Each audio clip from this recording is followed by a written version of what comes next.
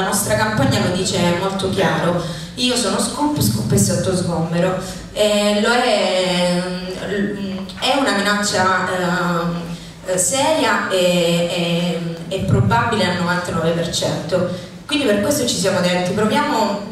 insieme a fare una chiacchierata che racconti che cos'è veramente questo posto. Tutti voi sapete che qui dentro ci sono tantissime attività, ehm, dalla palestra popolare a tutto il settore cultura, eh, c'è un'osteria, c'è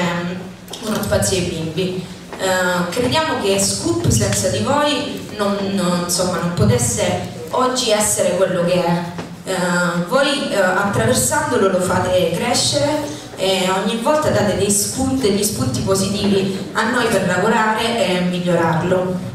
Diciamo che eh, spiegare cosa, cosa, è Scoop non è, non è, facile, perché Scoop è tantissime cose, però c'è una cosa che di sicuro viene in mente a tutti quando eh, ci viene rivolta questa domanda, cioè che Scoop è prima di tutto un luogo aperto, cioè un luogo dove chiunque si può sentire accolto, si può sentire subito a casa e quale che sia la proposta se ne può discutere insieme e tendenzialmente si fa. Ehm,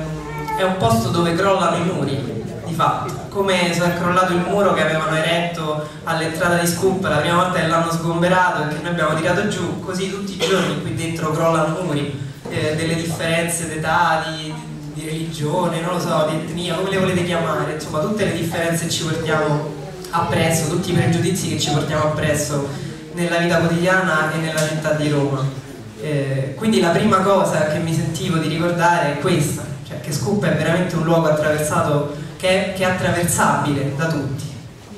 E quindi tutto questo ci porta poi eh, chiaramente all'assemblea di oggi, perché? perché questo modello che noi rappresentiamo è un modello che in questo periodo non ha grandi consensi al di fuori eh, lo attraversa è un modello che è proprio incompatibile con le logiche dei tagli allo Stato sociale, le logiche dell'austerità. Io credo che al Comune di Roma, ma in generale a una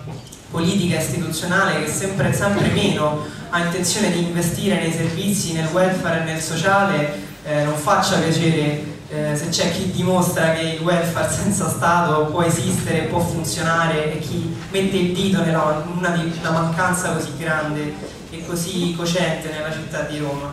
Eh, quindi anche per questo direi che siamo sotto attacco. E poi perché chiaramente sempre in un contesto come quello della crisi, che ormai non ce la facciamo più a ripetere neanche a sentirci dire questa parola, che è diventata una crisi strutturale, esistenziale, cioè ormai è inutile anche tentare di ricordarla perché è quello che ci viviamo tutti i giorni da ormai troppo tempo, però la cosa più importante al di là di tutti i servizi, le attività, dell'osteria, del reddito, di tutto questo discorso, è che qui appunto, come diceva Esther, si fa società, cioè le cose non è che si raccontano come le vorremmo, come, le, come ci piacerebbe che fossero, si, si prova a farle nel concreto.